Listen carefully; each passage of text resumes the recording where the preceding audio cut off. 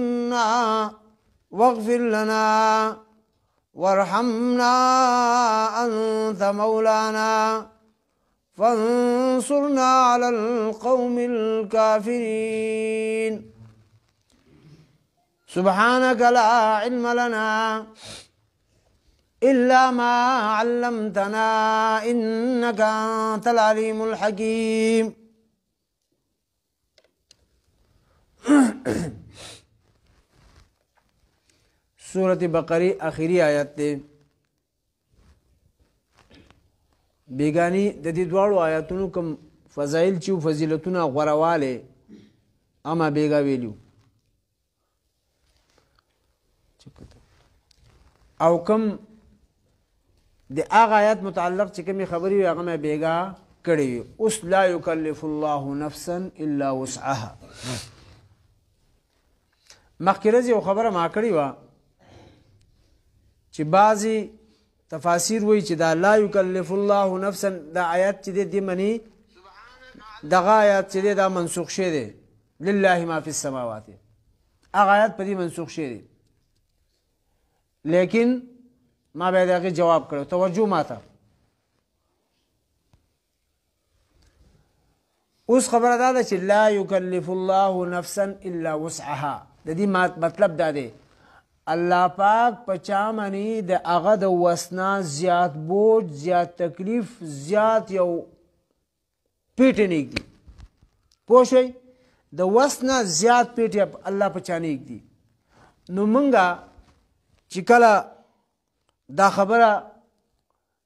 زمونږ چاته دغه شنو مونږ دا غیله را پریدو چې مونږ وی چې یاره څوک نا جوړ شو چې مونږ وی چې یاره الله وس نه زیات نا جوړتیا بچانیک دی دا به برداشت کړي یا مونږ دې لرا په یو سره قرضدار شو مونږ وی چې یاره وس نه زیات بوج الله چا من نه راوړي دا بد دی ټیک شو دا په خپل ځمن یو خبره ده خو اصل خبره دا ده چې الله وی تاسو ما پیدا کړی یې کم احکام چې تاسو منی ما اخی دي دا تاسو دی وس مناسب دي پوه شو سم تاسو باندې ما مونږ خې ده روزه یې خې ده زکات یې خې ده حج یې خې ده نیکیان یې خې دي ادا تاسو وس نه بار خبرې نه دي نو وای کوي ټیک شو کم شینه چې تاسو ما منه کړی چې دا به نه کوي ادا هم تاسو د وس نه بار نه ده اوس د الله موږ دروغ نه منه کړیو دروغ زموږ وس کې دي کې وس کې نه دي ویل وس کې دي کنه الله موږ د غلا نه منه کړیو نو غلا زموږ وس کې ده کنه ده کولای شي کو جو کو کنه موز الله موږ ته وکړي نو دا موږ زموږ وس کې دی که زموږ وس نه بار دی کله چې موز کې الله وي ودرېږي وکړي نو زموږ وس کې ودرېدلی نو الله یې په ولاړې وکړي دې ته وس وایي چې کله ودرېدی نه شو وس ختم دی الله یې په ناستې وکړه که نه په ناستې دې ته وس وایي چې په ناستې نه شو کولی الله یې په سملاستې وکړه دې ته وس وي یعنی وس نه بار نو په دې صورت کې چې کوم احکام ذکر شو هغه د شروع نه راواخله په دې صورت کې طلاق باس دی په دې کې د نکاح باس دی په دې کې د رضاعت باس تیر شو مخ کې په دې کې د پرورش د بچو تیر شو په دې کې د یتیم خبره تیر شو لا په دې کې معاملات تیر شو ګڼې خبرې په دې کې تیر دا ټولې د انسان په وس کې څه دي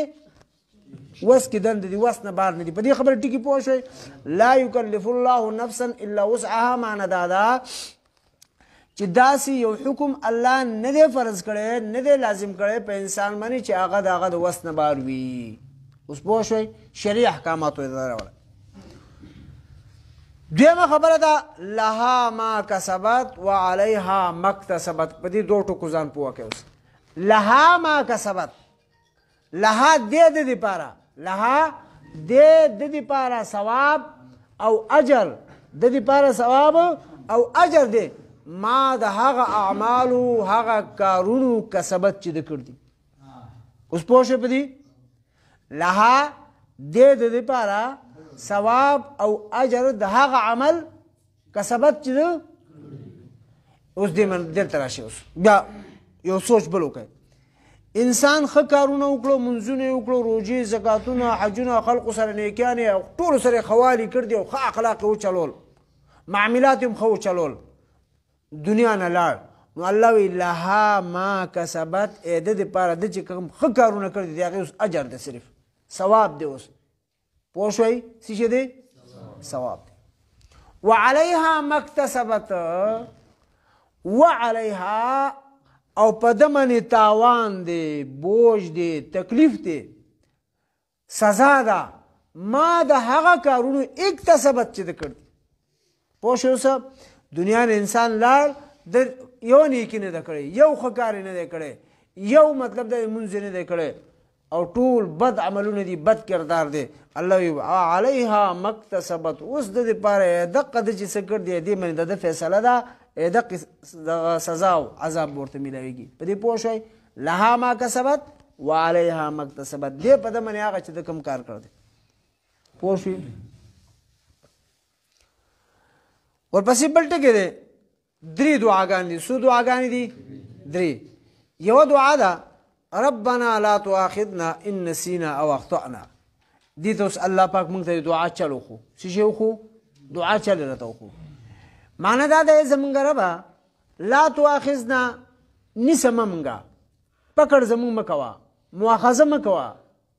راګیروه مونږ ما په څه کی ان نسینا او اخطانا اې که مونږ نه خبره یې رشي یا مونږ خطا شو مونږ نه خبره یې رشي یا مونږ خطا شو د دې بیا ډیر لوی قصې دي خو زه به ساده ساده وایم یو سړی د موز لر روانو جماعت ته چې په لار کې ورته یو سړی ملمه پرې راغی هغه جو ملمه سره ته کوم ځای راغلی پلان کې ځای راغلی چا سره کار دی او داسې کړ دی تیار شي دی برابر دی روان دی جماعت کې موز ټیم هم دی هغه سره ودرېد په خبرو خبرو کې هغه سوات نه راغلم سوات کې پلانکې پیژنې داسې کېدله کېدله کېدله کېدله ماسپخین دی راوتې دی لاره کې دوه مشغولېږي مشغولېږي دي کې مازیګر الله اکبر هغه زه خو موز ته ځم چې ګړی ته وکړه مازیګر باندې وي یو سره ایمان خو ماسپخین موز پاتې شو هېر شو دی نه کړه الله وایي چې هېر شو هېڅ خبره نشته بل حدیث کې هم راځي چې زما د امت نه یې راو خطا چې د الله پاک یا خطا شو څه شو غلطي تنه وشو یو جرم وکړو غلطی ترنه وشوله یو جرم وکړو نو په دې نسل نشته په دې نیول نشته الله نبی علیہ الصلوۃ والسلام دا زما امت نه پورته شي دي لری شي دي او چت کړي شي دي لیکن ربنا ای زمونږ رب لا تواخذنا په دې کې علما یو خبروم لیکل چی مه نیسی مونږه لا تواخذنا مه نیسی مونږه ان نسینا که مونږ نه څه یو عمل یو کار یو فرض حکم ییر شي او اخطأنا یا مونږه خطا شو یو غټ جرم وکړو خطا شو یو غټ جرم وکړو نو خطا به په قسمونو منده خو دې کې مونږ دا وایو چې عام خطا ته مراد دا یو داسې ګناکار سړی نه وشو ګناکار سړی نه په غلطه باندې وشو مطلب یو کار چې هغه غلط دی اراده نه اراده او قصد نه وایي ټیک شو اوس دویمه دعا زه به لنډوم لګه لګه رب ځکه د آیات وګد دی دویمه دعا ربنا ولا تحمل علينا اسرا ای زمونږ ربا تحمل حمل دي ته ویل کیږي یو پیټه پندوکه یو درنواله اوچتول پوه شئ دې ته ویل کېږي چې یو پیټې پنډو کې درونواله اوچتول یو سړی په دې وګمنې یو غټ پیټې ایښی دی دا دا مطلب دی نو اوس دې دعا کې چې الله په موږ باندې مه پیټې کوه موږ ته اوچتوه مه راپورته کوه اسرن بوج بوج د سزاګانو د عذابونو د تکلیفونو موږ ته مو چتوا کما حملته علی الذین من قبلنا لکه تا چې دا پیټي او چت کړي موږ نه مخکې خلقو ته لکه مخکنی خلقو ډېرې قصې دي نو هغه یو دا چې بعض کس په ګناو کو په دروازه به لیکل شي نو اوس که زمونږ چرته دا دروازه به لیکل لیکل کېدلې نو دروازه به زمونږ په یوې ورځ کې ډکه شي په یوې ورځې کې به ډکه شي دومره جرمونه مونږ کوو ګنټه کې ښه دیم دا چې هغه منې پنځوس منځونه نو درون درون بوجو کنه پنځوس منځونه مونږ منې پنځه منځونه دي بوس پک شو کنه هغه منې مطلب دا دی چې کپڑا به ګنده شول جو بیا به کټکولا یا به لړکولا ډیر دغه پکې نو الله پاک ته موږ چې الله پاک تا چې په دې مخکنی امتونو باندې څومره بوج او تکلیف او سختی خو اې دې موږ بچکا دین موږ دریم دعا ده ربنا ولا تحملنا ما لا طاقت لنا به یا الله هغه پیټه مونږ ته م پورته کوا چې د هغه طاقت مونږ نه لرو هغه طاقت مونږ نه لرو داسې عذاب داسې سزا داسې مرض داسې ټینشن داسې امتحان په مونږ مرا ولا چې مونږ د هغه طاقت نه لرو گویا کې دا د عافیت سوال دی نو بیا ورپسې بیا درې ټکي دي واعف عنا واغفر لنا وارحمنا درې واړو کې جدا جدا لکه مطلب دا دی چې یو ټکی لیکل نو منځ کې وقفه ده بل وقفه بل وقفه درې دا علماو د درې دعاګانو سره هم لګولي چې هغه داسې طریقې سره لګولي تاسو ځا اسانه طریقې سره لګوم اوله دعا دا ده اې الله مه نیسې مونږ که چېرې مونږ ییر شي مونږ نه یا خطا وکړو مونږ نو بل ته واعف عنا مونږ سره عافیت ولا معامله وکړه کنه عافیت ولا معامله وکړه د سره مناسب خبره ده دا چې موږ نه خبره یې رشي موږ خطا شو موږ سره عافیت ولا معامله وکړه تاسو عفو منې په وکوم ما دیمه دعا به ادا ده چې ربنا ولا تحمل علينا اسرا موږ باندې داسې بوجونه ما چوا لکه څنګه چې مخکنو خلق من دی اچولیو مخکنو خلق من دی اچولیو چې هغه به ګناه وکړو بیا به ډېر زیات جرم دغه ورته ملایي ده نو واغفر لنا موږ معاف کا موږ معاف کا او درین ربنا ولا تحملنا ما لا طاقت لنا موږ باندې هغه سي هغه سي پیټي موږ ته مو چته واجب زم طاقت نه ځکه موږ سره رحم کرم معاملې وکړه رحم کرم ورحمنا اوس عفو څه ته ویل کیږي مغفرت څه ته ویل کیږي رحم رحم ترجمه عفو ما ویل خو بهرال بیا برته عفا دې ته ویل کیږي چې الله مونږ یو جرم کړ دې ګناه کړ دې غلطي کړ دا چې کله په دغه جرم او په غلطي او په ګناه باندې سزا ملو شوندې ته عفا نه وي چې سزا ختم شي سزا ختم شي دې ته عفو وي ځکه موږ چې الله موږ ته عفو وکړه که زموږ سزا ختمه کا زموږ سزا ختمه کا او دا کوم کتاب کې چې لیکل شوی دی د کتاب نه روان کا د کتاب نه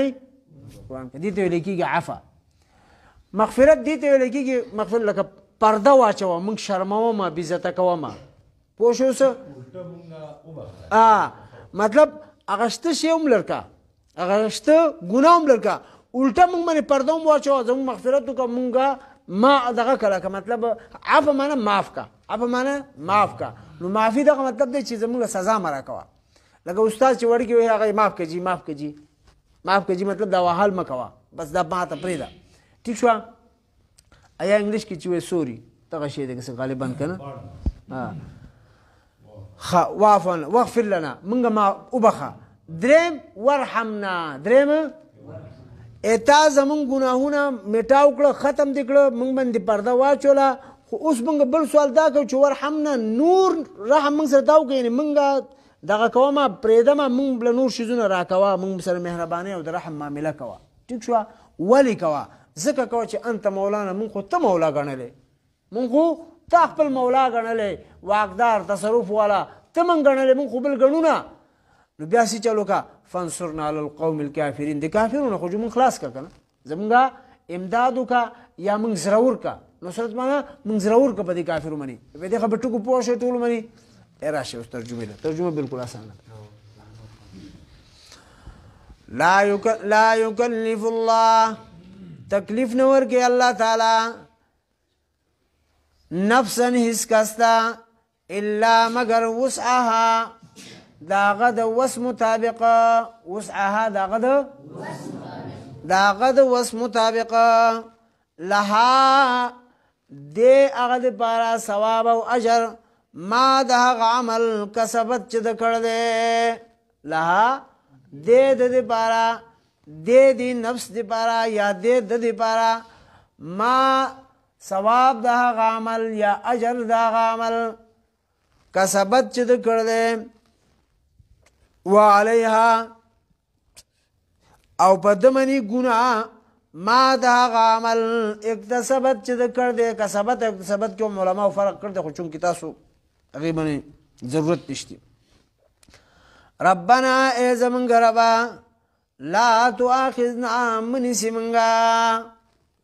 لا تواخذنا معنا څه شو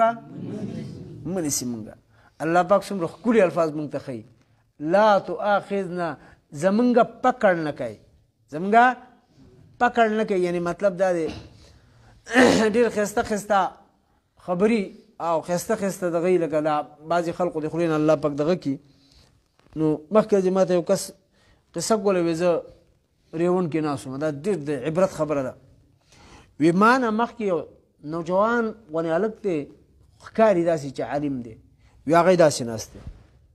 چې داسې ناست دی نو وی زما دعا غوښتله خو چونکې هغه الله سره مناجات شروع کړو مناجات مناجات دې ته ویل کېږي چې الله ته خپل هغه فریاد هغه درد هغه خبره اورول او الله پاک نه مقاصد حاصلول مقصدونه ضرورتونه پوره کول وې دا سه مناجات شروع کړ دې ما سې چلو کې چې دعا مې پرې خود لوي دته مې غوږ کې خود چې دته مې غوږ کې خود نو دې اول نه مطلب دا دغه نه شروع شو د ځنکدن نه چې الله پاک ګوره ځنکدن منی بدا سه بد شکل فرشتي راځي فلان کې الله زه ګوره دون ډېر یریږي ما پسې بدانه را لګي دا خبره ورسره کوله کوله دا اخلاص کړ بیا قبر ته لاړ وی الله پاکه خبره غډیره وګده کوله خو زی لنډو چې قبر ته وی الله پاکه تاسو خو پته زما سپورټي مرز دی دا لاسونه به داسې کړی تاسو چې دا قبر شریف داسې تنګيږي الله ما من بګوره قبر نه تنګي ګوره ما سپورټي مرز دی دا به چل کېږي لکه داسې الله سره داسې لګیا دی ته به رشته د الله ده ته مخامخ دی په کار هم داسې ده بیا داسې ورورو دغه ته لاړ اعمالو ته لولو ته په لاسته اخر دا چې شارټ کټ به تاسو ته دا وکړي چې دی ورسې دی ته چې عملونو خبرو مو شو نبی رسول الله روان دی جنت دروازه کو جنت دروازه کولاوي لکه جنت ته نبی رسول الله زی دروازه به جنت نبی رسول الله کولاوي نو نبی رسول الله سره خپل امت کافي خلق رواني صحابه به ورسره وي نور نیکان خلق به ورسره وي نو دي دي الکو وي چې الله کله چې نبی علی السلام روان شي او د جنت دروازه کوله او دنده کیږي زبه پټیګم په دې خلقو کې بسم زبه پټیګم په دې خلقو کې بسم خو الله تبه ما پسې فرشتن را, را لګي او ما منې باواز نه کوي څومره قیمتي خبره کړ دا چې ته به ما پسې فرشته نه راولېږي او ما باندې به اواز نه کوي او زه دو ما ته څه نه وي نبی علیه السلام او د نور خلقو ما ته څه نه وي خو ته به نه کوې دا کار لکه الله پاک سره چې کله سړی هغه تعلق جوړ شي که نه بیا خلک داسې خبرې کوي داسې مشغولېږي ورسره داسې مشغولېږي لکه سړی چې مشغولا کوي خو زموږ خو الله سره تعلق سره جوړ نه دی که نه ځکه الله سره موږ بس اسې هغه رسمي غونې دغه یو چې مطلب مسلمانان موږ الله سره تعلق جوړ نه دا قصه چې ما ته چا کوله نو هغه چې کوم طریقې سره کوله او ما چې کوم طریقې سره ورته زما د د عقل حیران شو خلق داسې داسې مناجات کې الله سره نو الله موږ ته مناجات چلو خو چې ربنا لا تواخذنا چرته چې موږ پاسو الله ته وي چې الله ګوره ما به ګوره په دنیا کې هم نه نیسي په دغه کې په قبر کې به مم نه نیسي په آخرت کې به مم د میدان قیامت کې به مم نه نیسي او عملونو تول چې کېږي هلته به نه ګرفتارای هلته به هم زما نیوکه نه کوي مونږ چې الله دا ونو الله به ونه مني او مونږ ورته وایو نه کنه ربنا اے زمونږ ربا لا تو آخذنا منی سی مونږه ان نسینا کیر شي مونږ لا او اختانا یا مونږ خطا شو پوه شوئ اکه مونږ الله ته به داسې یو الله یریدل پرې د مونږ قصدن دا ګناونه کړ دي مونږ قصدن دا غلط کارونه کړ دي مونږ بیا هم منیس الله یې سید دې ته تیار يم کړ ربنا ای زمونږ ربا ولا تحمل او ما چوا علینا پمنګ منی مه پورته کوه، مه راوچته وه، مه بوج کوه، مه بار کوه، بار، اصل کې ددې معنی پښتو کې هغه بار دی لکه د اوښ پېټی یا د خر پېټی، بار پخوا به ورته وي خو دا اوس واړه بار نه پېژني که نه، پخوا به خرون باندې خلکو پېټی راوړ هغه ته به د اوښ بار وي، خر بار، ټیک شو، اوس دا واړه پېژني نه، بار دوه وایي چې دا دوه بار، تین بار، دغه نو موږ به معنی داسې کوو، لا تحمل مه راوچته وه، علینا په موږ باندې یا مه پیټه کوا په موږ باندې پیټه مانو کو که باور باندې کو بوج هم ټی سي دی اصل معنی بوج هم دی خو بوج به دوی پوه نشي بوج خلق بعضې خبره دای شي کنه چې هغه سړي کړي هم نه سړي باندې اسم اچول کیږي او اسر معنا بوج دا مه راوچتو مونږ ته مه پورته کو مونږ ته ربنا یا زمونږ ربا ولا تحمل مه پورته مه راوچتو علینا په مونږ باندې اسرن بوج ها بوج نه مراد دا دی کله چې سړی منی پیټه کې خودل شي او د لاندې ستړی شي او سای بن شي سا بن شي او خبرې ته سره چې ټیټ رواني اسو کو دې په خیر رااله خدای وبخه ټیک شو دې ته ویل کېږي اسرن بوج کما پشان ته دې اسرن بوج کما حملته لك څنګه چې پورته کړو تا على الذين غسانو تا من قبلنا چې زمونږ نه مخکې وو ربنا ای زمونږ ربا ولا تحملنا او مه پورته کوه موږ ته ما هغه څه لا طاقت تحمل او تحمل یو معنی ده لا طاقت چې طاقت نه لرو لنا تا لا طاقت لنا چې طاقت نه لرو مونږه معنی دا ده لا طاقت لنا چې طاقت نشته لنا زمونږ د پاره د هغې طاقت مونږ د مونږ د پاره لا طاقت نشته طاقت لنا زمونږ د هغې د اوچتولو خو پښتو کې مونږ داسې وایو لا طاقت لنا چې نشته طاقت زمونږه به د هغې واعف عنا معافي وکړي موږ ته واغفر لنا وبخښي موږه وارحمنا رحم وکړي په موږ باندې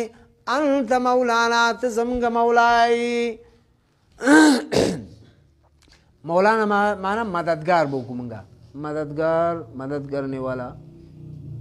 پختو کی با تعاون مدد مددگار سے دی فانصرنا نو بیا سی چلو کا امداد وک زمنګا یا زرور کمنګا علی القوم الكافرین خا فانصرنا امداد وک زمنګا علی القوم الكافرین بیا په مقابله د قوم کافر کې یا زرور کې منګا علی القوم الكافرین په کافرانو باندې لا يكلف الله تکلیف نه ورکی الله تعالی نفسا چاته تکلیف نه ورکی الله تعالی هیڅ چاته نفسا هیڅ چاته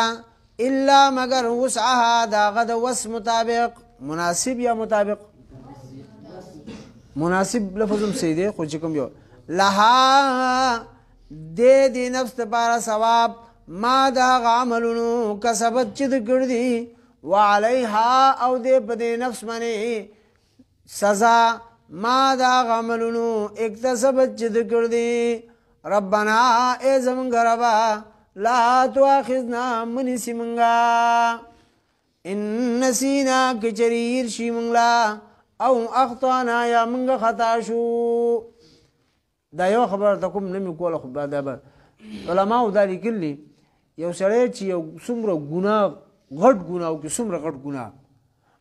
نو دی بیا هم خطا دی ښه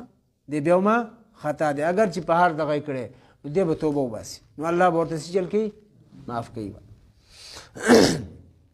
لهذا موږ دې امت لپاره الله پاک دومره دغه ورکړ دي کنه کنسیشن دومره کنسیشن چې دومره کنسیشن هیڅ چا سره نه دی کړی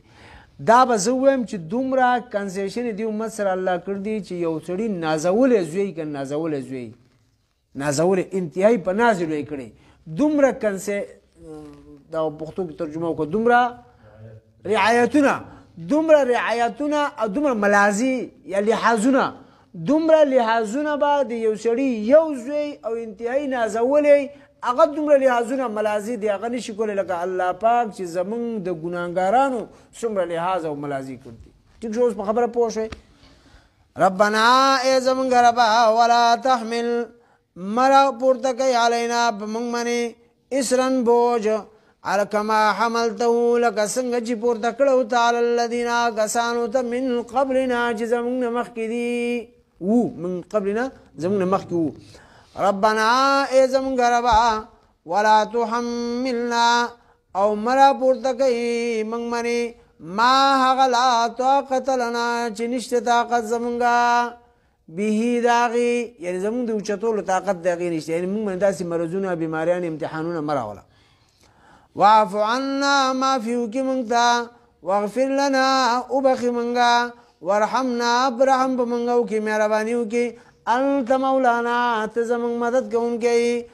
فانصرنا نو زمون مدد وکي زمون مدد وکي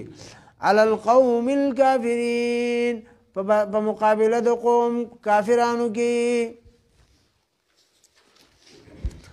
لا يكلف الله تکلیف نور کې الله تعالی نفسا هچاتا الا وسعها مگر هغه د وس مطابق ودی چول یو ځل لها لها لها لها دی هغه د بارس اجر اولنې کې اجر و یا ثواب و لها دی هغه لپاره اجر ما د هغه عملونو کسبت چې د کړ دي وعليها وعليها او پاغه منی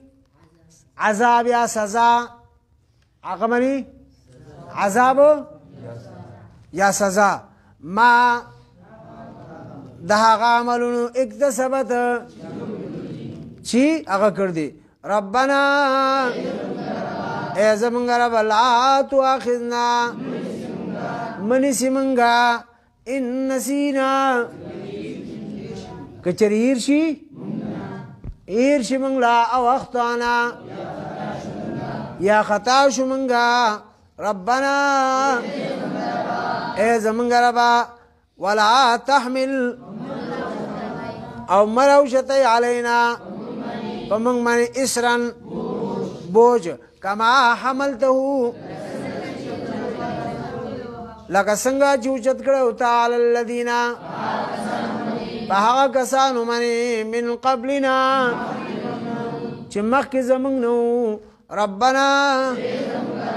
اے زمونږ ربا ولا تحملنا لا تحمل لا تحمل ما یوم نه ده فرق پکشته خو هغه من تاسو پریدای ولا تحملنا او مرو چته من تما هغه لا طاقت لنا چې نشته طاقت زمونږه به پاغي منی